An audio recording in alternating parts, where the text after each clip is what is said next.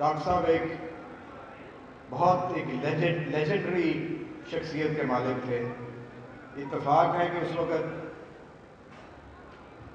जब सियासी निज़ाम को ख़त्म किया गया, बर्बाद किया गया, उल्टाया गया, मैं, यानी उन्नीस सौ नड़िनवे में, मैं उस वक़्त भी इस हल्का इंतखब से एम एन ए था।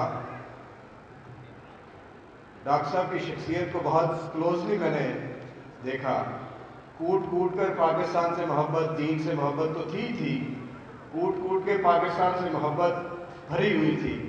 हर वक्त दर्द दिल में इंसानियत के लिए मुल्क के लिए फ़िक्रमंद रहते थे रहबरी करते थे हमें बड़ा हौसला देते थे वो बुरा वक्त जब आया तो यकीन माने डॉक्टर साहब ने वो वो एक मुस्लिम लीगी नून के उनका उन, उन, उसके रेगुलर मेंबर नहीं थे मगर उन्होंने किसी भी सिर्फ़ और सिर्फ़ डिक्टेटर के खिलाफ होने के असूल की असूल की पा, पाकिस्तान में बात करने के लिए डॉक्टर साहब ने अपना लाजवाब किरदार अदा किया और हमें बड़ा हौसला दिया और हमें राय रास्त पे रखने में जब हमारी क्यादत बाहर एग्जाइल में आ चुकी थी तो उन्होंने यकीन माने इतनी हमें सपोर्ट और इतनी हमारी रहबरी की हौसला दिया गली गली मोहल्ले में हमारे उन्होंने इज़्ज़त बनवाई। ताकि इस पाकिस्तान को इस डिक्टेटर की जान से छुड़ाया जाए और उसमें उनको बड़ी सख्तियाँ भी झेलनी पड़ी। आपके आपके सामने और फिर फिर एक ऐसा सानिया भी आपके सामने है। डॉक्टर साहब ने अपनी जान की कुर्बानी भी दे दी, मगर रसूल से उन्होंने नहीं नहीं छोड़ा। जैसे मैंने पहले कहा गो वो मुस्लिम लीग के बाबा मेंबर नहीं थे, पर किसी से कम भी नहीं थे। हमें यही महसूस होता था कि हमारे भाई हैं, हमारे बड़े भाई हैं और मियाँ साहब की, क्योंकि ज़ाती तल्लक था, वो भी वो निभा रहे थे। मगर रसूल की बात मैं समझता हूँ, हमें लेकर आगे चले। बहुत खौफनाक टाइम था। अल्लाह के फजल से वो वक्त गुजर गया। डॉक्टर साहब को बड़ी, जब वापस जमहूरियत आई तो डॉक्टर साहब वहीं बड़े बड़े खुश खुर्रम और हमारे साथ उनका फिर भी वैसे ही रवैया। तो मैं ये कहना चाहता हूँ कि इसलिए नहीं कि वो हमारे तल्लकदार थे, इसलिए कि वो एक सच्चे इंसान, ज़रूरत वाले इंसान एक बा किरदार इंसान था, पाकिस्तानी होने के नाते भी अपनी उनकी उलमा की जो क्वालिफिकेशन है, इल्म है अलूम है, उसमें तो कोई कोई उसका मुकाबला शायद ना हो सके, बल, बहुत ही बुलंद पाए से उनके ये मामला थे। तो अल्लाह करे उनको जवार रहमत में इन जगह देगा, दे दी होगी, और अल्लाह करे और उनकी औलाद को और दूसरे उनके दोस्तों को ये सब्र और ये कमी बर्दाश्त करने की बहुत एक हिम्मत और हौसला दे।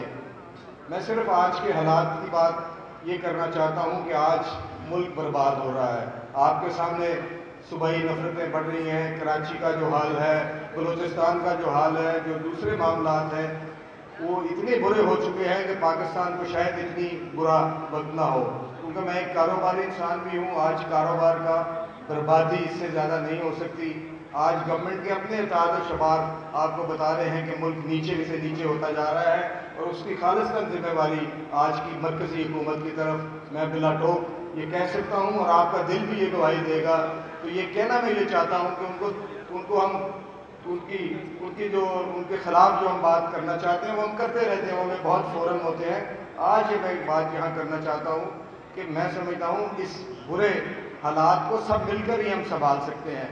ये किसी एक सियासी पार्टी या एक सियासी ऑक्यूपेशन के लोगों को मैं नहीं समझता कि जी अकेला उनकी बात है, हमें आपकी तावन चाहिए, हमें आपकी सपोर्ट चाहिए, हमें जो सच बोलने वाला है, उसको पाकिस्तान में अपना रोल अदा करने के लिए एक बात करनी चाहिए और हर तबका, चाहे वो टीचर्स हों कराम हो, पाकिस्तानी शहरी हों, सियासतदान हो, वो कारोबारी हजरात हों, मजदूर हों, मैं समझता हूँ हम सबको पाकिस्तान की फ़िक्र करनी चाहिए, एक ऐसा कौमी जज्बा पैदा करनी चाहिए और अल्लाह के फजल से, मेरा उस पार्टी से तल्लक है, मेरे कायद मियाँ मोहम्मद नवाज़ शरीफ साहब जो भी चंद मिनटों में आने वाले हैं, अल्लाह के फजल से एक असूसी, एक असूली मौक़ के साथ आगे चल रहे हैं। तो हमें उम्मीद है आपने हमेशा उनको ऐसे बात सपोर्ट भी किया है फॉलो भी किया, उनकी बात में लबैक भी कहा है। तो हमें सब मिलकर एक कौमी जज्बा उभारना है और मुझे उम्मीद है आज का सेमिनार अपनी दीनी फ़रज़ के साथ साथ तरबियत और ऐसी बातों में भी बड़ा एक सगे मील साबित होगा। पाकिस्तान में आजकल लोड शेडिंग का गुस्सा मौजूद है। हर शहरी में, हर पाकिस्तानी में गुस्सा मौजूद है कि आज बिजली की लोड शेडिंग और ख़ास तौर पे कोई मैं सुबह ही बात नहीं कर रहा, आज पंजाब के साथ ज्यादती ये हो रही है कि दूसरे सूबों में कुछ तो प्रायोरिटी दी जा रही है और पंजाब में सबसे ज़्यादा लोडिंग लोड शेडिंग हो रही है। पंजाब की हुकूमत उसको भी बिल्कुल प्रेजेंट उसका केस मुकदमा लड़ रही है। मुझे आपसे सिर्फ़ ये विनती करनी है कि आप में से भी लोग इससे परेशान हैं। आपने सिर्फ़ ये कहना है कि सरकारी इमलाक प्राइवेट इमलाक को खुदाया हमारे चीफ मिनिस्टर भी कह चुके हैं, मेरी भी आपसे इंतजा है, आप इस मस्जिद मसाजिद में भी आकर ये मैसेज दीजिए कि जो एहतजाज आपका हक है, मगर पीसफुल एहतजाज करना इंतहाई ज़रूरी है, गैर जिम्मेवारी, नुकसानदेह, और ये चीज़ें जो हैं, इसको हमसे इससे बचना चाहिए। हमें अपने एहतजाज और गुस्से को एक अच्छे अंदाज में, एक इसलाई अंदाज में आगे लेके चलना चाहिए। लाहौर मुस्लिम लीग आपके लिए एक एक मजमू एक कलेक्टिव एहतजाज मुस्लिम मस्जिद में हफ़्ते को तीन बजे कर रही है।